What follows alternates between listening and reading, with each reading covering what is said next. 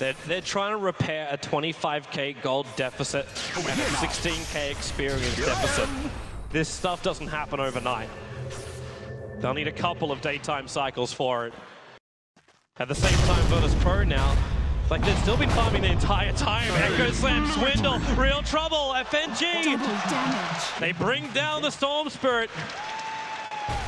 I think Swindle Swindlemaster just lost his Euls. I think he dropped it to get more out of his bottle in the bottom lane. Oh. And it got destroyed by the Shaker when he ganked him with the Echo. so that's an, a 2,800 gold loss.